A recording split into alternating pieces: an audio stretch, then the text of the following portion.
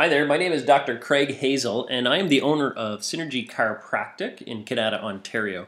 And today, what we're going to be watching is we're going to be discussing the topic of ADHD. And this uh, is one of the hot topics in some of the workshops that we do in our office.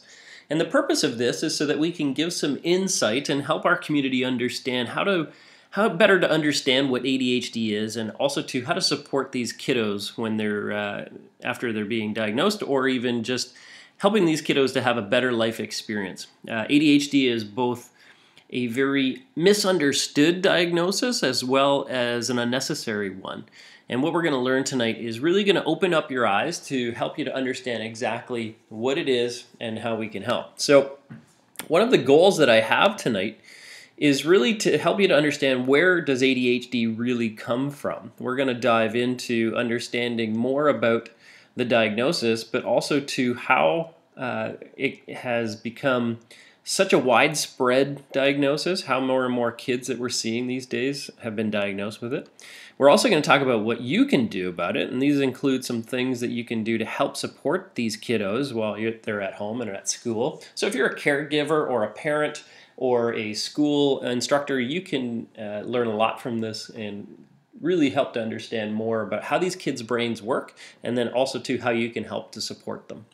But the other thing I want to dive into is how does the nervous system fit in? And as a chiropractor, we're going to dive into uh, the role in which a chiropractic care can really help these kids. And it seems uh, at a glance something that's uh, you know, you think of chiropractic, you think of back pain and neck pain and headaches, and yes, you'd be right.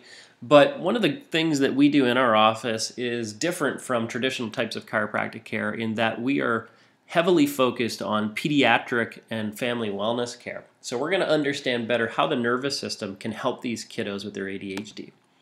So, first off, who am I? Well, Dr. Craig Hazel, and uh, like I said, we have a very specific focus in pediatric chiropractic.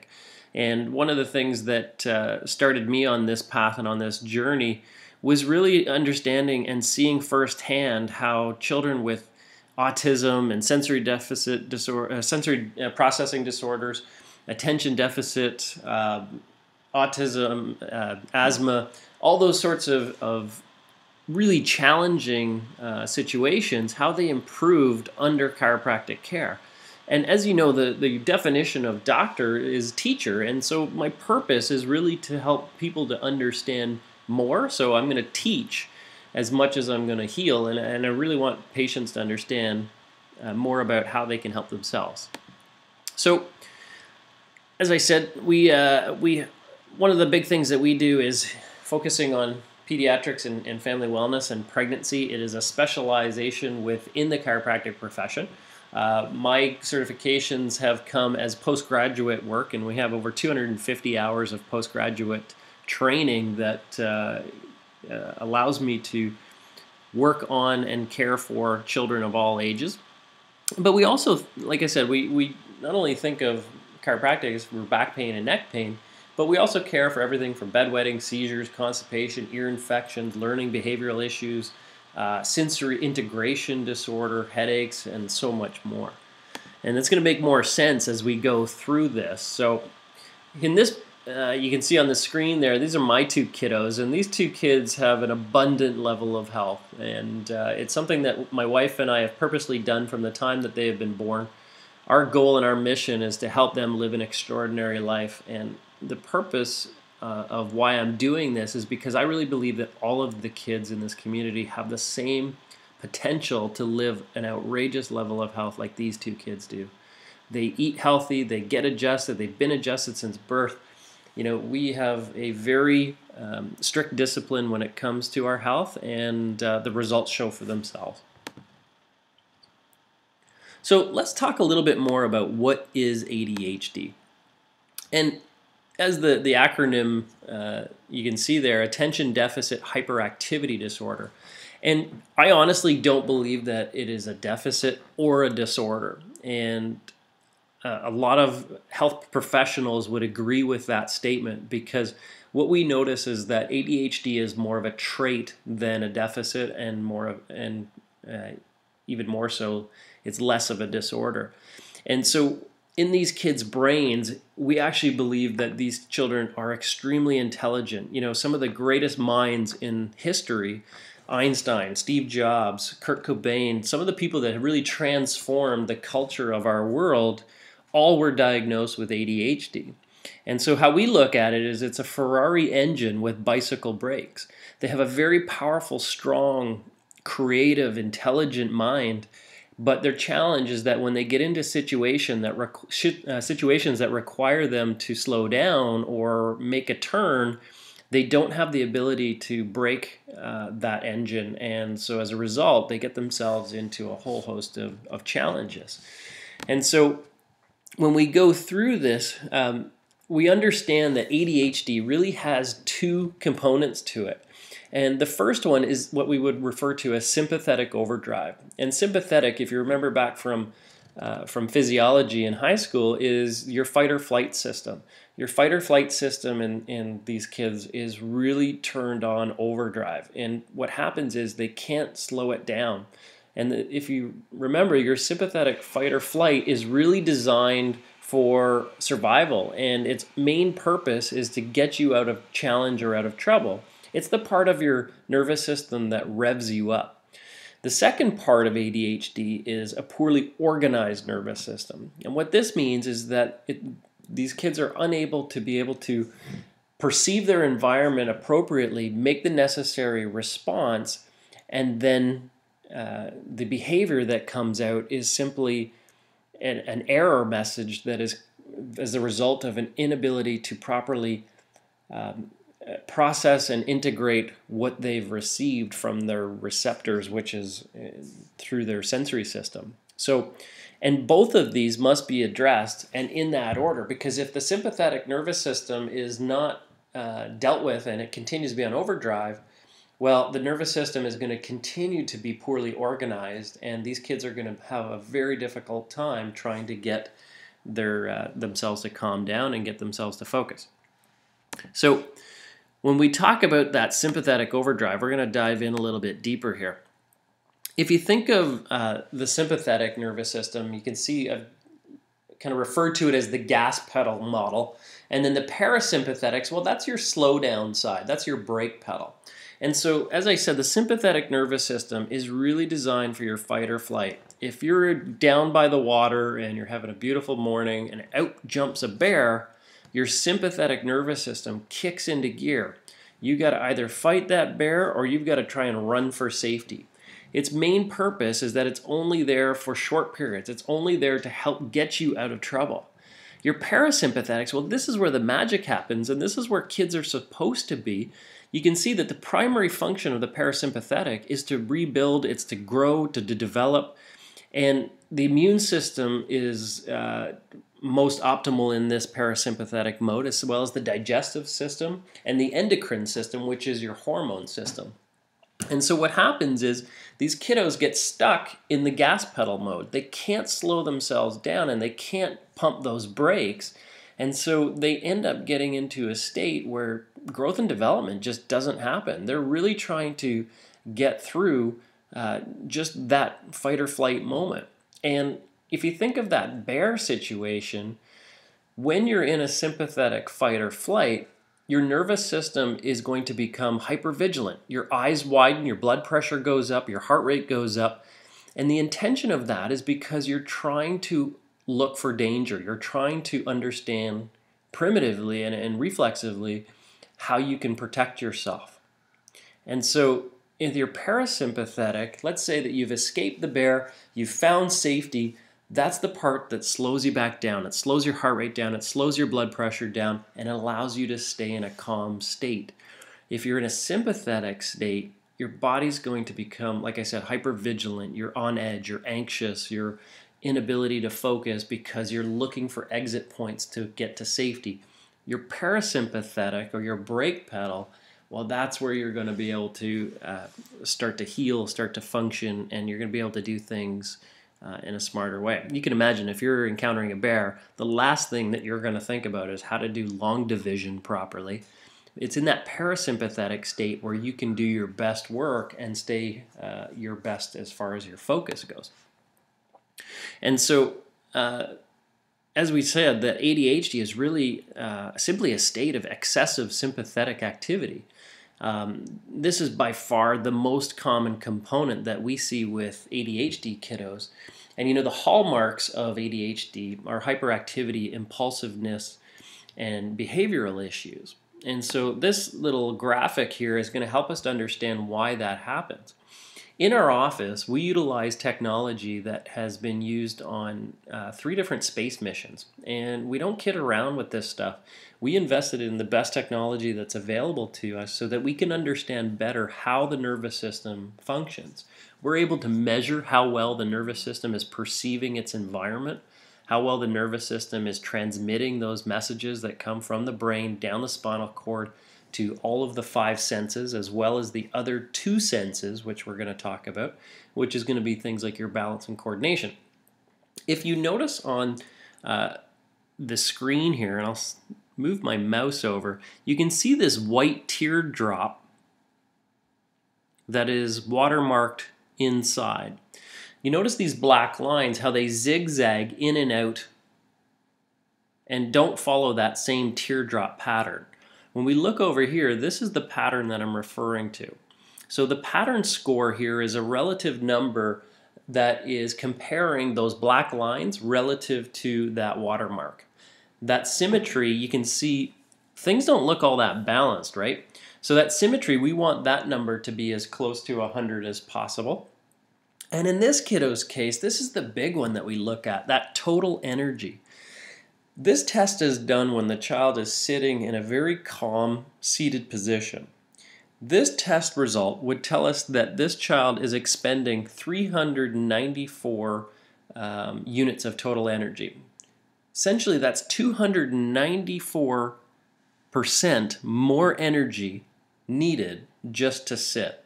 And to help you to make sense of this, their nervous system is hyperactive. It is extremely overactive. And what that does is that as they're trying to sit still in class, um, their nervous system is is fidgety. They're going to have challenges with anxiety. They're going to have challenges with their sensory systems because think of it as Metallica playing in your ear while you're sitting there listening and trying to understand what the teacher is telling you, or for that matter, what your parent is telling you. And so with these kiddos, they're unable to continue to stay focused because their nervous system is being hyper barraged with so much stimulation. And it's really hard for them to, to focus because it's coming out like a fire hose. They can't take it in small segments, process it, integrate it, and respond appropriately. And so what we're seeing is that the output or the behavior in this case comes out as something that is, um, we'll say, less than desirable, right? Because ADHD, we're hoping to help these kids with their ability to focus, less hyper, less uh, uh, behavioral issues. And so the problem is a situation of garbage in versus garbage out. If their nervous system is perceiving things improperly, well, in kind, their nervous system is going to respond improperly. That improper response is again what we call ADHD. And in that matter, it can be um, anything. And this is also true in cases of autism, in sensory integration processing challenges, um, and a whole host of other problems. And so, the second component that we talked about is that poorly organized nervous system. And so, to dive into that a little bit deeper, what we understand is that the role of the nervous system is to perceive the environment coordinate the behavior of all the other cells. So, as I said, you're supposed to receive a message properly, coordinate the response, and then make the appropriate um, output. The challenge is that with these kids, they, they don't get the right input. So the output becomes wrong. These kids are spinning so fast that they, they simply can't slow themselves down. And so they start having challenges socially, academically, behaviorally, physically, and through speech. Socially, they blurt out things that uh, you know typically you would say they, they, they could almost say that they don't have a filter. Academically, they have a really hard time reading what's on the page. They have a hard time focusing on what the teacher is instructing them to do and following a sequence of uh, uh, uh, steps in, in, order to complete the task. Behaviorally, they just blurt out stuff without even thinking about. Like I said, it's almost like a lack of of uh, filter. But then they have an impulsiveness to see what that sound is in the corner of the room. They have an impulsiveness to uh, investigate things because it they just can't let it go. It's almost like a, um, uh, a, a, challenge with their ability to um, put it out of their mind. They have to find out what the issue is. Physically, they fidget. One of the classic signs of ADHD is kids that fidget. You'll see them in what are referred to in neurology as overflow movements. They may stick a tongue out while they're coloring or while they're writing. They may have to shake a leg or fidget with their foot. They're constantly moving. They can't sit still.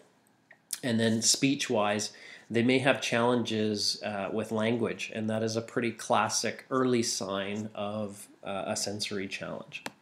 So, again, here's another graphic of that same kiddo in our office that uh, we talked about. And you can see that we've got a really poor pattern. You can see that that symmetry has improved from our last scan. But more importantly, that total energy has really dropped down dramatically. And so that's a huge uh, benefit to this child. And again, what we started to see is easier and better function within the classroom. And so, how does your spine fit into all this? I mean, as a chiropractor, like I said, you think of back pain, neck pain. Well, let's talk a little bit about that because we talked about the nervous system. We talked about the sympathetic nervous system and the parasympathetic nervous system. And really, that your spine is more than just the bones, the muscles, and the ligaments. Those are all the outer components of the body. But on the inside, that delicate nervous system lives inside of those bones that is uh, protected by the bones, moved by the muscles, and held together. Uh, those bones are held together by those ligaments. It's that nervous system on the inside that we are working with. It's not the bones, it's not the muscles, it's simply the nervous system that controls and coordinates and regulates all of the actions within the body. And so, as we talk about the principles of chiropractic, is that we understand that the body is made to heal and meant to be well, not sick. What I mean by that is if you cut your finger, the body heals it, not the band aid. When you were born, your body knew how to take breast milk from a mother and be able to turn it into the cells of your eye. You didn't have to read a book, you didn't have to understand anything. Your body knew how to make those cells. And so, what we understand is that your body is designed to be healthy and to be well. The nervous system is what's controlling and coordinating everything in that body but it's the interference in the process that the nervous system is no longer able to regulate, coordinate, restore, and maintain the proper integrity of that, that body. And so, this interference, or what we refer to as the subluxation, is what causes the dysfunction in the nervous system.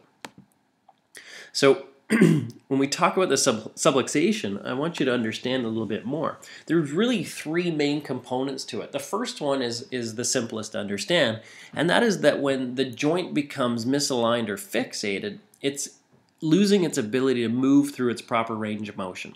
So you see that rusted old hinge that I've got as a picture there. That's a really good um, description of what happens. You can understand that if that is not moving smoothly, the door is not hung and structurally uh, it is shifted, well, that's going to start to create an abnormal movement in that hinge. You see that yellow bone in the picture on the right hand side? That is the top vertebrae in the spine.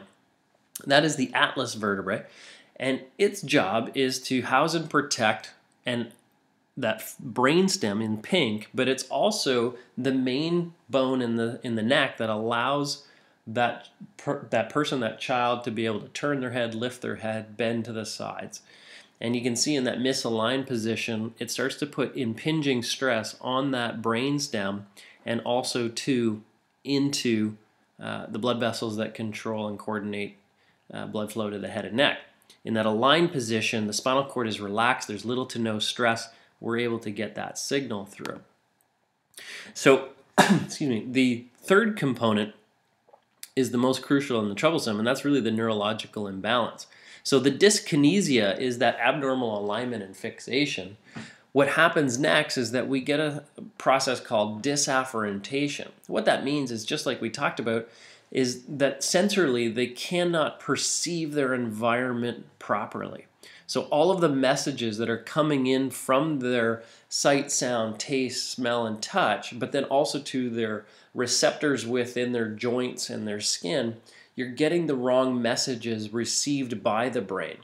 What this does is the body perceives a state of stress because it's no longer uh, in that calm state. It's in that metallica state where there's a lot of, of interference, there's a lot of noise coming into the system what that does is it puts the body into that sympathetic overdrive, which is that dysautonomia. And then the result is we get that abnormal energy output and control, which is that disorganized nervous system. Okay? Um, like a windmill, when it turns, it's creating electrical act, uh, current, and your brain is, is quite the same. 60% of the nerves that pick up uh, this movement or this brain food um, through movement live in the spine. So when your spine is not moving properly, you're not getting the proper brain food back to the brain. And the result is we start getting that dyskinesia, we start getting the dysafferentation, and we start going through the cascade. Uh, Incidentally, 33% of the nerves that pick up this movement live in the upper neck, and that's one of the most commonly subluxated places in the spine. Um, and the reason why is uh, it's so often subluxated is is honestly through the birth process and then through some of the other activities that go on in a child's young life. We're going to talk more about that here in a second. Um, movement is life, and if the nervous system is not perceiving and getting those uh, that movement, then we start having challenges, and then the problems start happening. So, what does the uh, chiropractic adjustment do? Well, its purpose is to restore that alignment and that movement, and that's the uh, increases that incoming flow of the proprioception or the movement into the brain. That you basically clear the pathway, allowing those proper messages to be received. You turn down the volume on Metallica, you allow the nervous system to perceive its environment appropriately. That balances out the nervous system, calming down the sympathetics, pumping those brake pedals so that your parasympathetics can kick in, thereby restoring the balance and restoring that energy output and organization to normal levels. So how do we know if the if your child has these subluxations? Well, like I said, we use the same technology um, that they use to scan astronauts. And this technology has, uses absolutely no radiation. It's no pain. It doesn't put anything into the body. It doesn't take anything out. It doesn't put any charge in. We use it uh, mostly on kids and babies in our office, but we also uh, tend to use it on, on adults as well. So as I said, we're talking about the subluxation, and the first thing that we wanted to understand was, well, how does the subluxation even happen in the first place? So, one of the number one ways that it happens is through birth trauma. And almost all of the neurodevelopmental cases that we see can be traced back to birth. And that's one of the reasons why we ask such detailed questions in the health history so that we can understand exactly how that birth process happened. Um, nearly half of the births in this country, in Canada, are C sections. And in this case, the baby's head and neck are often used as leverage. That atlas bone is used as a fulcrum to pull on that child during the birth process. Now, as that child's coming through the vaginal canal, they have to wiggle themselves down and through. And um, oftentimes, even in, the, in those cases, an obstetrician will use anywhere from 60 to 90 pounds of pressure uh, when they pull on that spine. And this is uh, known statistics in obstetrics. Uh, most of the interventions that are used, like Pitocin, is designed to actually create a more forceful contraction of the uterus. That uterus can contract as much as 10 to 15 times harder than it would naturally. So that puts a lot of stress on that child. And you know that space is a premium in month nine in that in that uh, uterus and in the womb. And so that stress alone can put that child who's all folded up and, and stuffed inside there.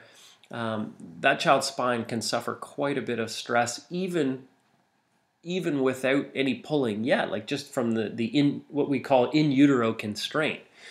Then you add in something like an epidural where mom and, is no longer able to feel, so there, that magic dance of mom being able to work with baby, they're almost numb from the, the waist down, so they really don't feel much. What this has been shown is to have uh, proven increased stress on the child.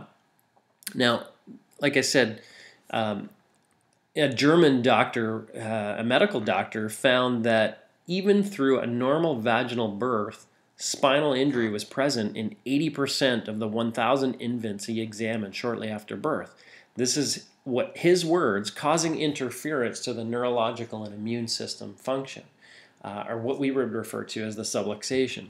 He concluded that all of the upper cervical spines of all infants should be checked and adjusted, if necessary, by a chiropractor before they even leave the hospital. And this is a medical doctor. Um, one of the other things that we note is that, as I mentioned, that upper bone in the neck, which is that atlas bone, it fully surrounds the brainstem, and the brainstem is close, close proximity to that cerebellar, um, the cerebellum, which is your ability to properly perceive your your world. Cerebellar injury, other than cerebellar injury at birth, having an autistic identical twin is the only better predictor of the diagnosis of autism. So not only does birth trauma affect the brain and its cortical function and hyperactivity and attention issues, it can also extend in all the other sensory processing challenges. And I'm going to argue that uh, ADHD really is one of the sensory processing uh, disorders because, again, like I said, you, your body just can't perceive the environment properly. So, another uh, continue the dr Gutmann had said that the trauma from the birth process remains a very underpublicized and therefore undertreated problem. So where does it start? Like i said it comes from the birth process. And the world health organization right now says that there really shouldn't be any reason why our c-section rates are over 10% at the most um, you see there down at Delnor, but really down at the Queensway Carleton, I've heard numbers as high as 46 to 48 percent of births are through um, C sections. Amazing. Now, I'm going to show you this video, and it's not for the faint of heart because it is showing some of the physical forces that are being applied. I've actually shown this video to obstetricians as well as uh, pediatric nurses and they will tell me that this is a very typical and routine um, type of phenomenon that happens. So if you're a little squeamish, he's using a vacuum on top of the head. What happens is when the baby comes through the vaginal canal, Like I said, they almost have to wiggle their way down and through. You can see them leveraging against the top part of the head, creating sub, uh, subluxation, creating suboccipital strain in the upper cervical spine. Now,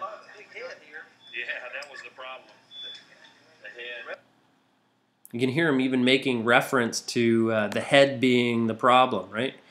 Um, in that scope, uh, like as I was saying, the baby is it's coming down through the vaginal canal. It almost has to wiggle its way through. Um, during a C-section, there's almost a vacuum effect that's created because as they make the incision and they have to go in, usually the child is head down, but sometimes in a breech position. Um, so the head may be up or to the side. But when they pull through, the abdomen, as it's wrapped around the head, you can see that they have to pull with the vacuum because it's almost a vacuum effect of suction around that child's spine. And so uh, I have never yet seen a C section birth uh, child that doesn't have at least a mild upper cervical subluxation. These subluxations, like I said, can be present even prior to birth, uh, especially if there's a breech presentation or that in utero constraint. Um, you see here, baby Zoe, she had a complete natural water birth, um, very uncomplicated vaginal birth, but even in her situation of force coming through the birth canal, she even uh, uh, had subluxation in her upper cervical spine.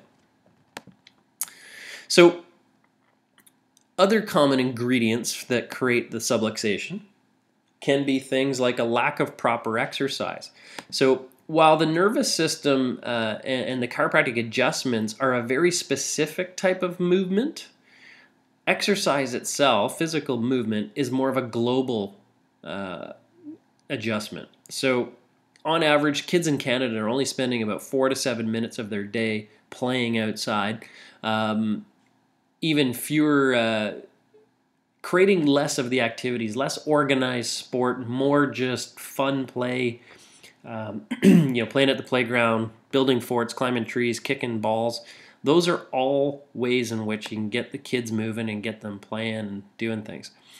Neural integration exercises and therapy. So really sensory play. As we talked about that Metallica situation where they're they're unable to properly perceive their environment, sensory integration exercise allow them to receive the right types of messages through movement, through using their touch, taste, uh, smell, um, and sight, um, what it does is it helps to take care of the poor organization and sensory processing integration challenges. So, things like an occupational therapist will give them exercises where they may be doing things on a balance ball, learning to do some cross crawl exercises, having them do some um, tactile touch type work with fuzzy, smooth, uh, rough, etc. type of, of objects. Um, and we all agreed, no matter what discipline of healthcare we come from, is that ADHD really is more of a sensory processing. These kids are just, like I said, poor organization, poor integration, poor ability to to properly perceive their environment. And so when we add it all up, one plus one equals eleven. They just simply cannot. Uh, again, properly perceive, so it becomes an exaggerated type of input to their nervous systems and their bodies. Another common ingredient is the nutritional environmental toxins. This is a, a, a big one that most people work to start with. They try to clean up the child's diet. You've heard of it before. Sugar is the uh, uh, the thing that you want to try and pull out of their diet.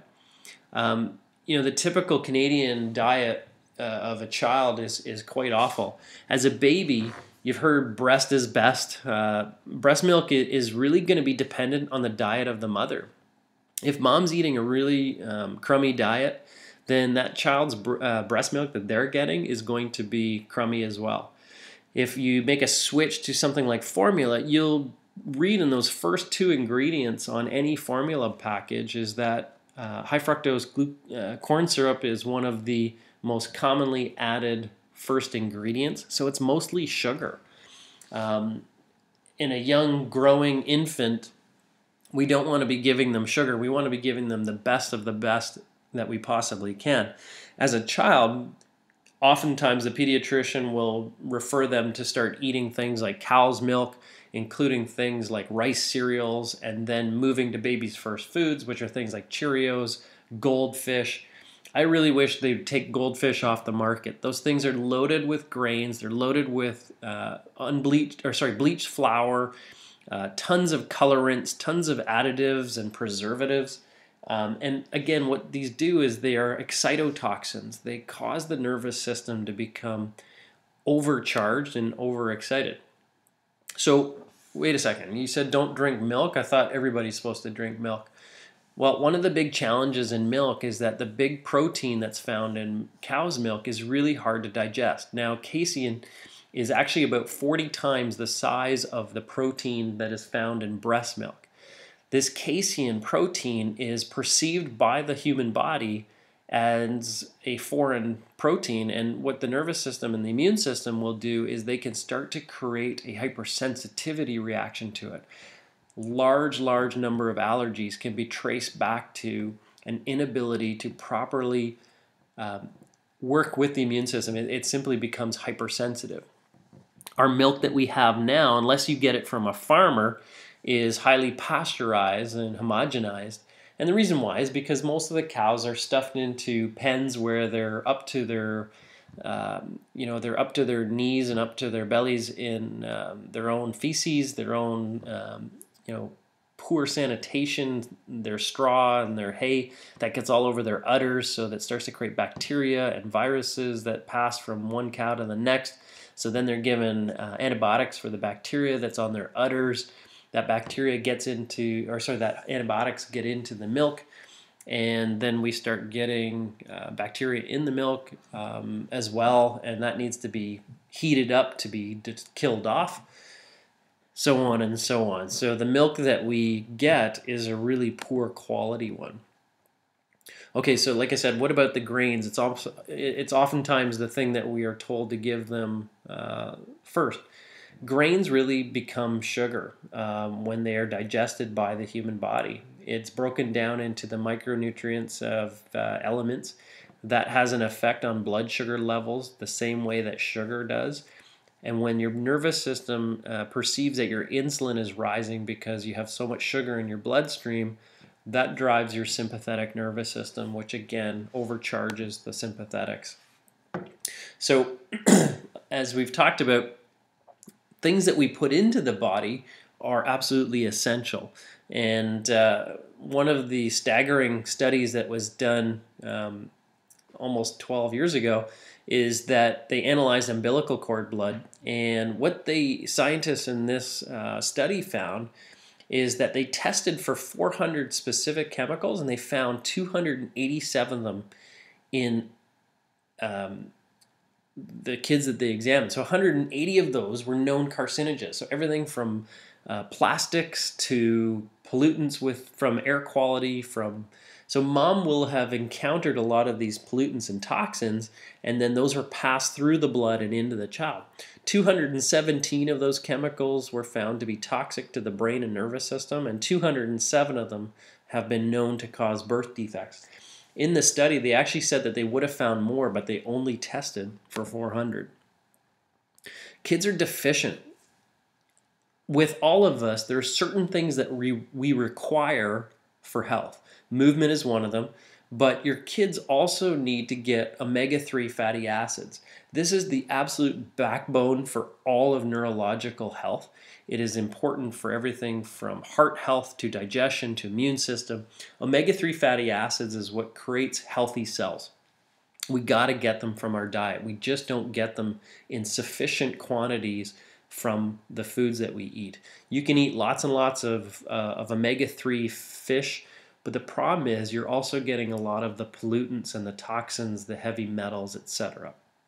Um, we need to get plants. We need to make, uh, you think of, of plants, it needs certain things. And if you don't give it what it needs, if you're giving it sunlight and good soil but not enough water, well, you're going to start to create a lot of problems.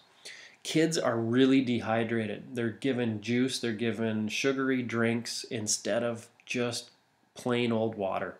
And the result is we're seeing more and more kids that are dehydrated. And when a child is dehydrated, that can also affect their ability to focus.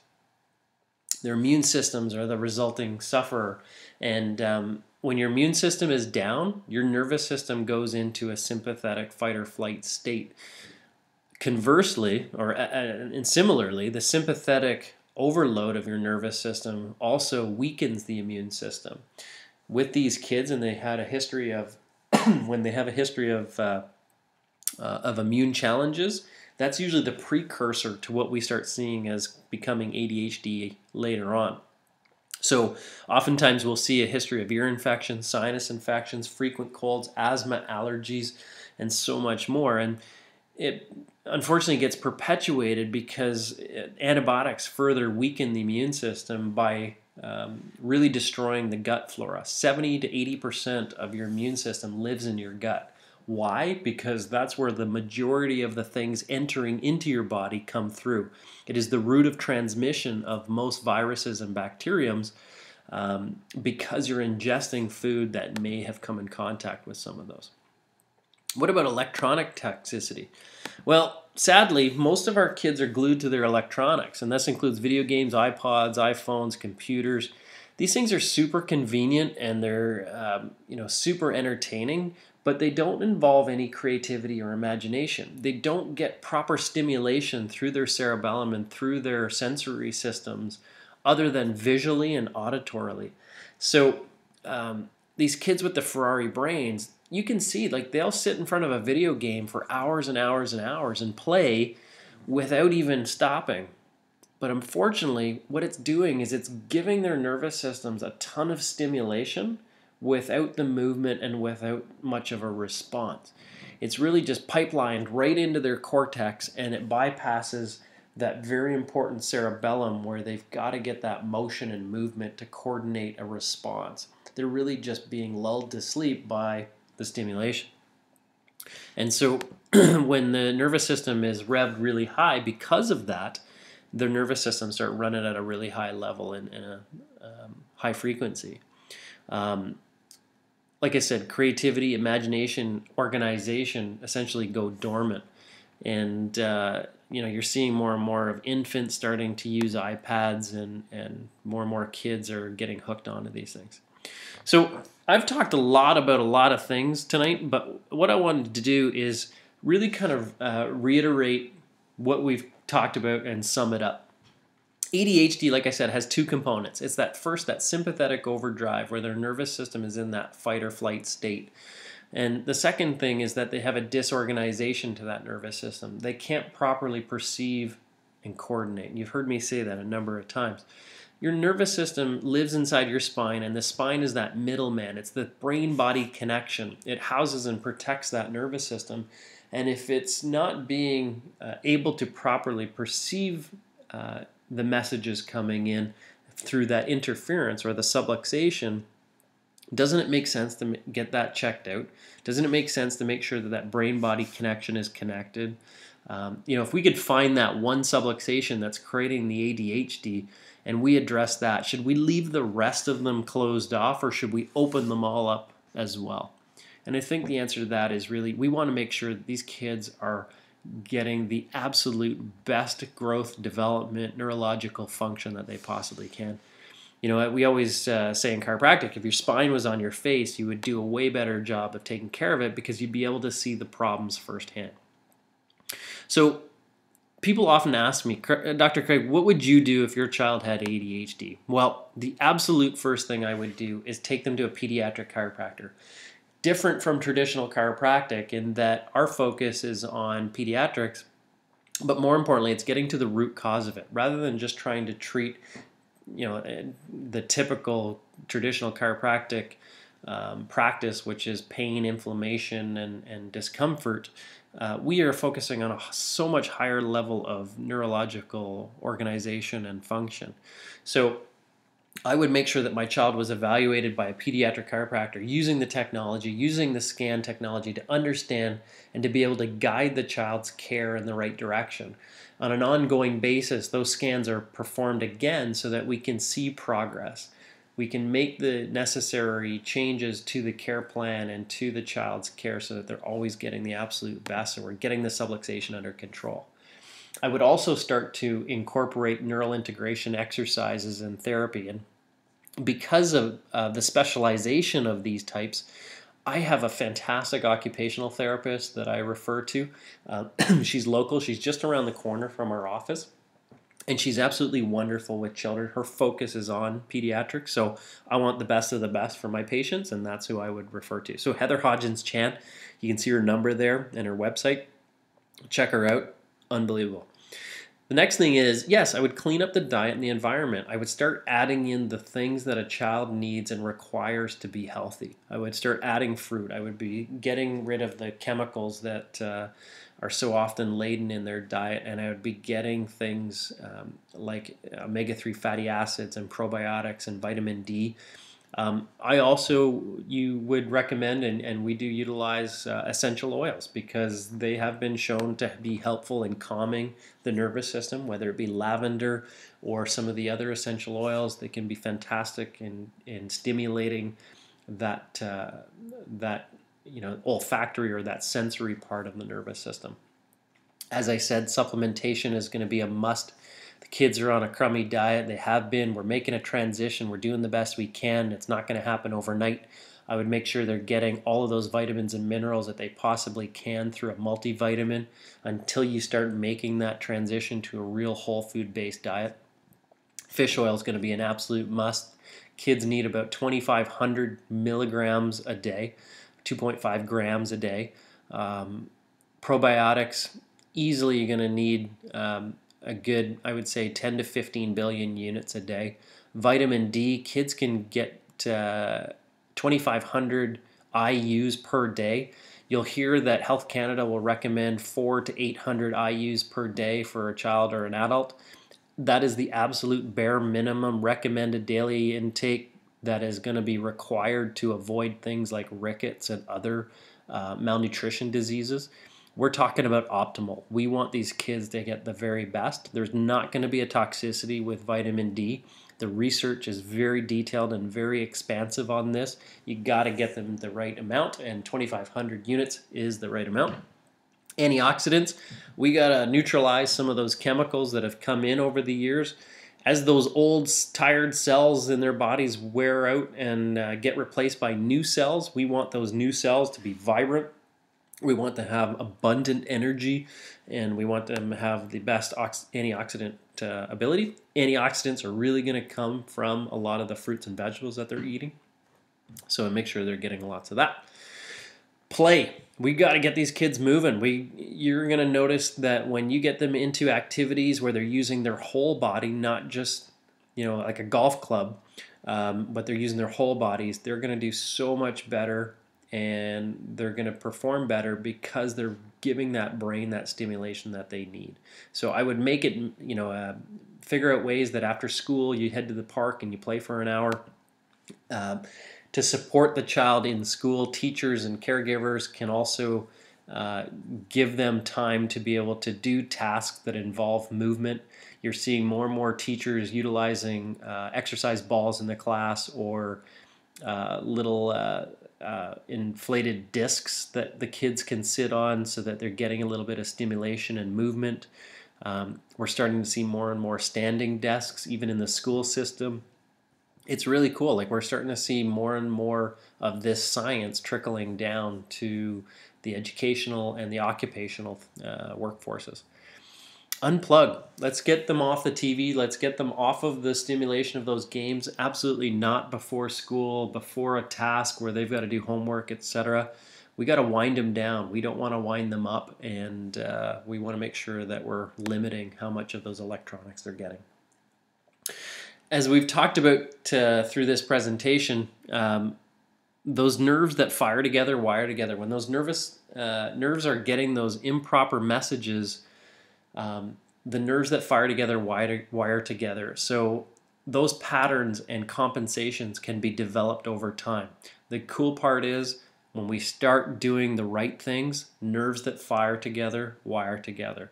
That nervous system can be untrained and retrained to a higher level. That's the beauty of it. So it's going to take a while to get things under under control, we got to make sure that there's no interference. We got to make sure that we're getting all the things that they need, those ingredients, and we got to stick with it because that's going to give the kids the best opportunity to get through the challenge of ADHD, to learn how to get their bodies functioning the very, very best that they possibly can. So, you know what? I'm glad that you've been able to uh, to join us on this presentation. Um, you know what? as a pediatric chiropractor, if you are in our area and we can help, you know what? Give us a call. Check out our website. So our phone number is 613 591 9151. Our website is again www.synergychiropractickanata.com. Um, you can even just look up Synergy Kanata and Google that. Um, but join our tribe. I mean, we really want to make sure that these kids have the most extraordinary lives that they possibly can. If you're viewing this and you're not in our area, don't fret. We have been able to find chiropractors for people all around the world. The network of pediatric chiropractors is wide and deep. We are able to find people in even some of the most remote corners of uh, of the nation, and as well as uh, I've found chiropractors overseas for people. Um, we have a very tight knit group of chiropractic. Uh, pediatric docs that uh, are looking to help these kiddos out. So don't hesitate, contact me directly through the website, and I'll be able to help you find somebody that's going to be able to help. Okay? we like I said, we we truly want to see these kids have such a level of health um, that they were designed to, that their potential has is is starting them off with, and each and every one of these kiddos in this picture has a story. Each and every one of these kiddos has overcome a challenge that they've had, and uh, every one of these kids just has such a, a vibrant, extraordinary health expression as a result of it at this point. Okay, so again, if you have any questions, don't hesitate to contact me through the website on any of the things that we've talked about, and uh, we'll be absolutely sure to help. Okay, so again, this is Dr. Craig Hazel from Synergy Chiropractic in Kanata, Ontario. Thank you for joining us. Thank you for watching this. Please share. Please pass it on to your friends and your family. And uh, again, if we can be of any help, we'd be happy to.